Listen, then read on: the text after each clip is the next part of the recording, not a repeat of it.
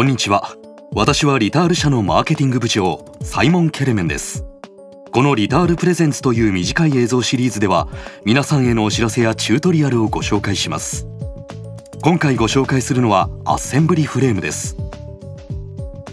配線搬送組み立て機械加工のためのエンクロージャー自動化装置というより広範にわたる完成された製品シリーズの中の一つです。アッセンブリフレームはエンクロージャー用マウンティングプレートの設置配線実装及び試験を人間工学的かつ効果的に短時間で実施できるよう最適化された特別な設計がなされています。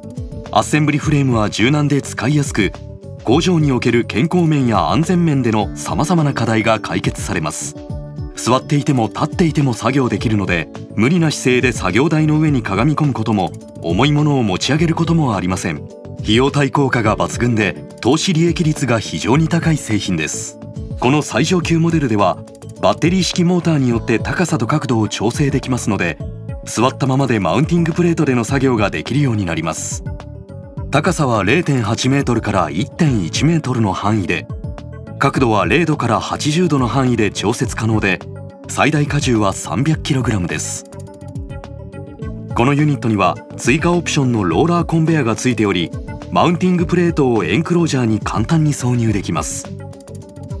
今このマウンティングプレートにはリタールの D4 パワー 185mm バスバーシステムが取り付けられています。全部で 150kg の重さですが車輪のロックを外せば1人でも簡単に作業場を自由に動かすことができます。またマウンティングプレートの位置を調節してエンクロージャーに挿入することも1人で簡単にできます。これはつまりエンクロージャー内の限られたスペースでマウンティングプレートを実装しなくても良いということです。不快感もなく自由に余裕を持ってマウンティングプレートを動かしながら十分に実装できるのです。